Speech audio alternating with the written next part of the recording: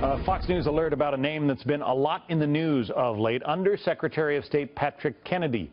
He is responding today to those allegations of a quid pro quo between the State Department and the FBI. Kennedy saying in part, there was no quid pro quo, nor was there any bargaining. At no point in our conversation was I under the impression we were bargaining.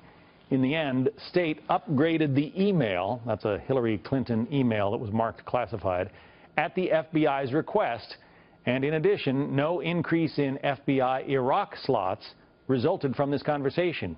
Finally, my motivations were never political. So that's the man at the center of the accusations with his statement. Heather? All right.